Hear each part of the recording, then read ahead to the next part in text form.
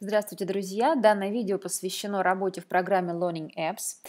А, напоминаю, что Learning Apps – это не только программа, сервис а, по созданию интерактивного видео. Данный сервис вы можете использовать для создания огромного количества упражнений, в том числе упражнений, которые вы будете инсталлировать в ваше интерактивное видео.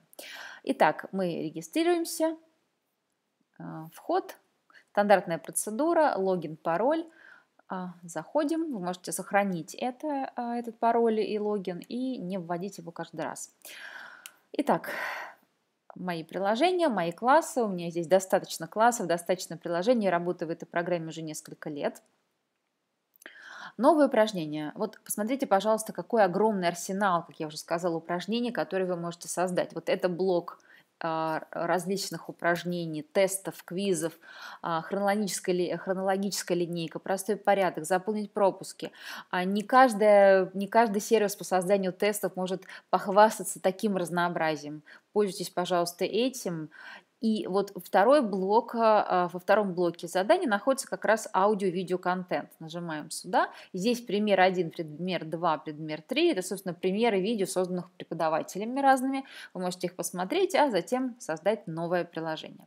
А, вы должны здесь, конечно, заполнить название, ну, допустим, тест, постановка задачи. Я бы вам рекомендовала очень тщательно продумать то, что вы будете печатать здесь, чтобы не запутать ваших учеников. А наверняка, а, я даже уверена, что это интерактивное видео будет первое их интерактивное задание, именно видео, в виде интерактивного видео. Поэтому пропишите пошаговый алгоритм, что им необходимо сделать.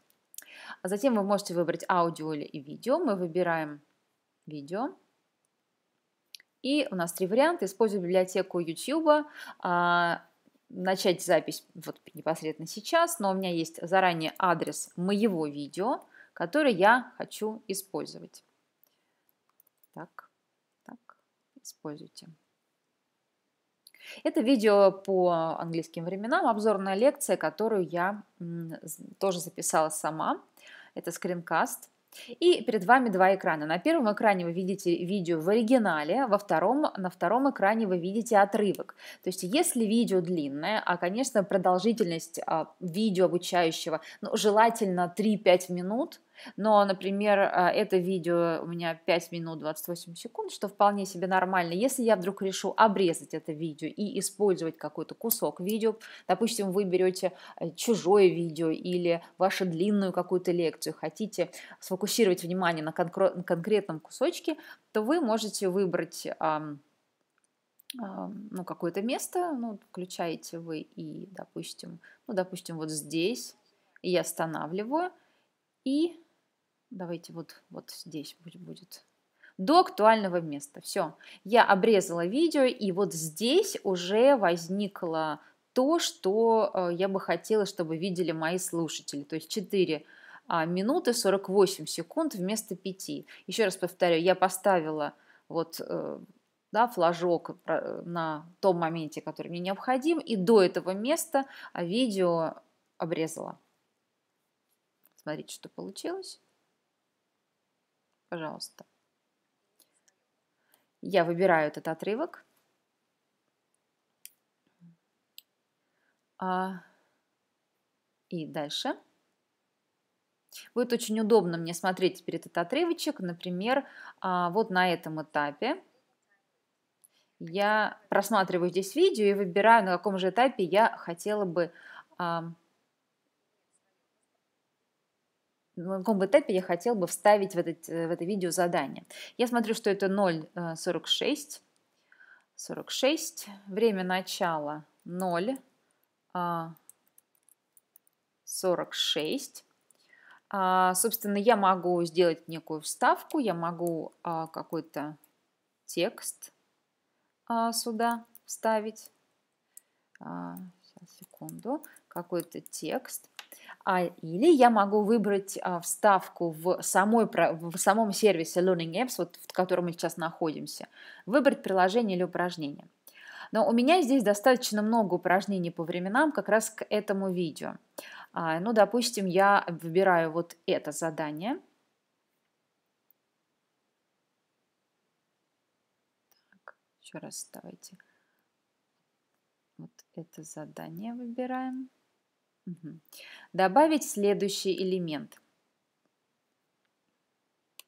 Так, сейчас вот так мы сделаем. А, добавить следующий элемент. Для этого можно опять включить вот здесь видео, посмотреть, какой отрывочек вас интересует.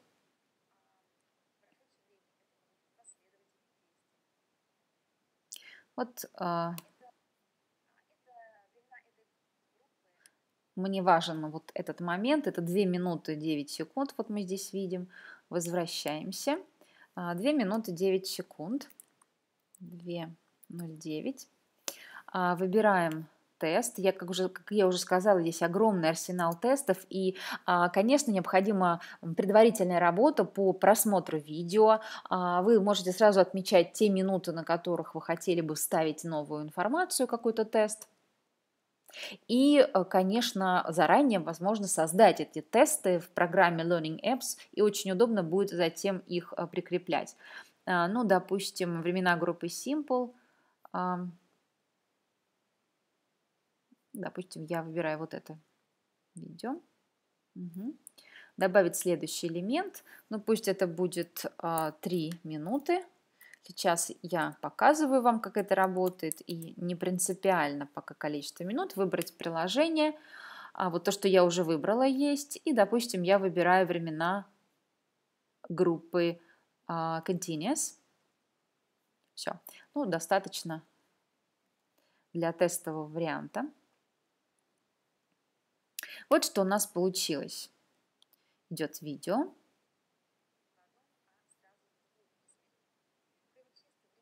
Как только появляется маячок, вот, например, один видео прекращается и запустить задание. Задание запускается. То есть моя задача, вот я уже заранее создала это задание, распределить да, а, блоки предложения по группам, по, по, по группам времен. И как вы видите, для, а, для школьников а, это вполне интересный интерфейс, такой красочный достаточно. Вы можете вновь настроить, вернуться, собственно, и продолжить а, работу над этим видео. Но тут же, кстати, можно будет проверить это же задание, нажав на галочку. Ваши ученики смогут увидеть, что было правильно, что нет. А мы нажимаем «Сохранить приложение». Сохраняем твое упражнение было успешно сохранено. Теперь ты можешь найти его у себя в сохраненном варианте, если необходимо снова исправить или дополнить. А ты можешь а, твое упражнение внести в свой блог или дать просто на него ссылку. Если есть желание, то можно опубликовать в каталоге. А, то есть здесь несколько вариантов. Адрес в интернете, адрес в полной картинке и код. И если вы хотите привязать э, кодом на ваш сайт, вставить, чтобы это было действительно картинкой прикреплено, то вы можете использовать код. А, или там, если вы используете iBooks OS, если вы создаете электронные книги, то тоже подходит. Если же что-то не так, и вы хотите исправить, то вы можете переработать упражнение, и оно вновь возникнет, и вы сможете сюда а, добавить какие-то задания или изменить что-то. Потом опять сохранить его. Вы можете опубликовать приложение или сделать его личным, или даже а, его сохранить в каталоге. Вот, вот эти маячки 1-2, на самом деле, это и есть те, а, те моменты, на которых, во время которых возникают задания для, для ваших студентов. Вот, допустим, второе. Запустить задание. Ну, что мы здесь? Здесь необходимо выполнить тест и а, вот вставить какие-то и вставить какие-то глаголы, а, ну, вот, допустим, да, но вот также вот выполняете это задание. Сейчас я не буду читать ответы, просто наугад поставлю. Также могут студенты просмотреть. А, и вот поэтому очень важно сделать видеогид, возможно, даже изначально показав, какие есть варианты заданий как их надо выполнять. Я имею в виду для ваших а, слушателей. Опубликовать приложение – Ну вот, собственно, выбираете раздел под категорию, ярлыки, выбрать э, школьную ступень, это тоже можно сделать, а можно не делать. А, что, собственно, если мы скопируем адрес в интернете, то а, послав этот адрес нашим слушателям, вот что у нас будет.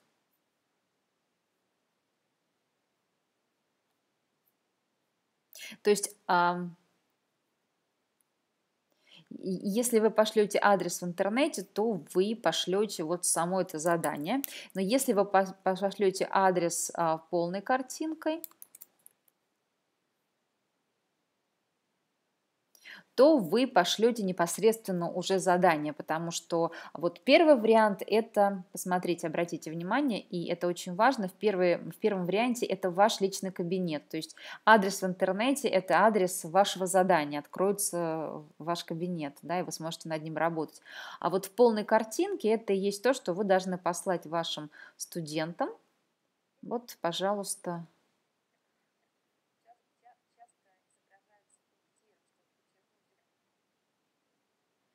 Вот, пожалуйста, третье задание. Можно проверить, запустить задание. Тоже задание сделано в Learning Apps. Точно так же ваши студенты проверяют его. Итак, я напоминаю, что э, вы посылаете адрес полной картинки, но э, рекомендую вам все-таки проверить эту ссылку, чтобы действительно открывался вариант для студентов, для учеников, а не ваш. Но привязать, уже сказала, это кодом вы прикрепляете к своему сайту, или, допустим, если вы работаете на образовательной платформе, на которой вы можете прикрепить код, это, допустим, Ледими, э, там вы можете прикрепить кодом а, видео, или в Moodle, допустим, и это будет выглядеть вот картинка именно. А данной ссылкой вы можете прикрепить и в соцсетях, и послать по электронной почте. Ну, все как обычно.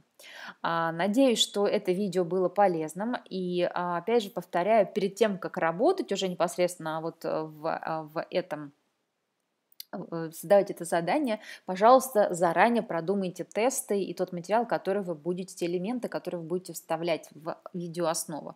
Ну и если это видео вам понравилось, вы можете создать подобное приложение, вы можете взять то же самое видео, допустим, и создать э, новые виды заданий на этом же видео, например, там итоговые задания, создать новое пустое приложение по этому шаблону, э, ну или показать другие приложения, но, в общем-то, вы можете каждый раз приходить новые упражнения и э, идти вот сюда аудио-видео контент и создавать такие видео. Спасибо за внимание и э, приступайте к созданию своего интерактивного видео в программе Learning Apps. И успехов вам!